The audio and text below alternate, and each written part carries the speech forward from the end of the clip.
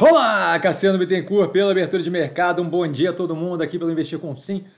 São 8h25 da manhã, do dia 24 de 4 de 2024. Tá? Vários quatros aí. Vídeos da organização do canal, como sempre, aqui embaixo na descrição desse vídeo, assim como o link da lojinha. Minhas camisetas chegaram, como vocês viram aí nos últimos dias. Tá? Eu começo com um disclaimer que eu falo aqui nada mais é do que a minha opinião sobre investimento, a forma como eu invisto, não é de qualquer forma, modo em geral, indicação de compra ou venda de qualquer ativo do mercado financeiro. Isso dito, fechamento de ontem, portfólio misto para o portfólio, tá? um volume fraco. Acontecimentos, a gente tem aí o MIDIC, Ministério da Indústria e Comércio, é, com medidas ali de cota e tributação para produtos específicos do aço. Tá? A escolha desses produtos ali foi feita com base nos dados ali de importação média entre 2020 e 2022.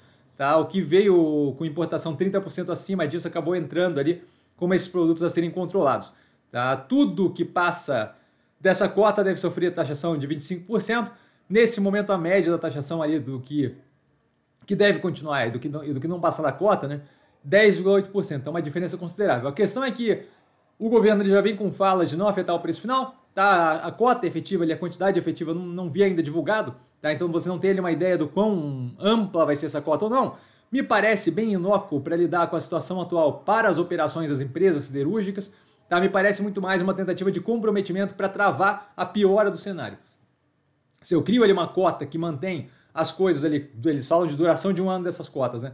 Se eu crio ali uma cota que mantém o nível de importação mais ou menos proporcional ao que a gente tem hoje, mas sem ampliar com a cota travando a parte de cima, eu tenho ali uma capacidade de manter o preço versus a demanda do mercado e de qualquer forma evitar uma piora, evitar que fique insustentável de tanto aço chinês, por exemplo, sendo importado para o Brasil e ao mesmo tempo não ter nenhum efeito é, de, de, de, melhoria agressiva para as operações aqui do Brasil de siderurgia. Tá? Então vejo muito nesse cenário aí de, de, de, um, de uma tentativa ali de não deixar descambar para uma coisa insustentável de, de, de extrema importação, de extrema importação de aço, mas não acho que vai fazer de fato muita diferença tanto para as operações siderúrgicas nesse momento quanto para a precificação ali do mercado. A última coisa que eu imagino que eles queiram é justamente afetar ali, inflacionando o preço do aço, que acaba inflacionando cadeia produtiva em geral. Né?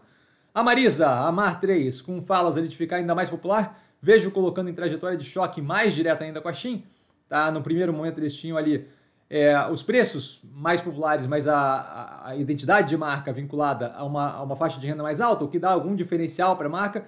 Quando você começa a se equiparar muito a forma de fazer da Shein e a precificação da Shein, acho que fica bem complicado de querer brigar no páreo ali. Tá? Por último, aqui é o Carrefour instalando câmera corporal em 100% de seguranças fiscais. Tá? A gente vem ali de um histórico de várias, é, vários, vários incidentes ali, onde você tem é, agressão, violência, é, julgamento ali, muito, muito vinculado ali com estímulo racial, né? com, com motivação racial. É, esse tipo de coisa, de botar câmera, não, não, não resolve a questão estrutural ali, mas essa é uma questão muito mais complexa de resolver. Porém, entretanto, todavia, não deixa de ser uma medida positiva na direção de mitigar eventos, tá? eventos desses que, que venham com é, motivação racial.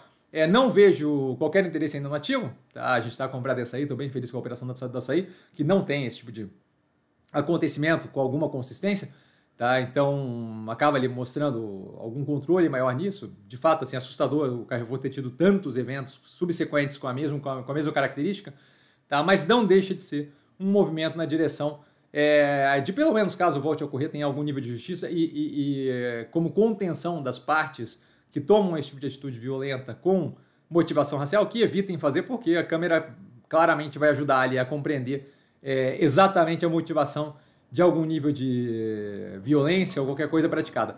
Tá? A gente finaliza aqui com os ativos que eu estou observando mais de perto, com base no fechamento de ontem. Grupo Casas Bahia, Guararapes, Infracommerce, XP, Edux, Minerva, Azul e Ambipar. E dúvida?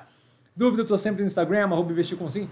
Só ir lá falar comigo, não trago a pessoa amada, mas estou sempre tirando dúvida e vale lembrar que quem aprende a pensar bolsa opera como um mero detalhe. Um grande beijo a todo mundo e nos vemos é, possivelmente em short reel ainda durante o dia de hoje tá? Se não, amanhã no Abertura de Mercado novamente. Beijo, galera. Valeu!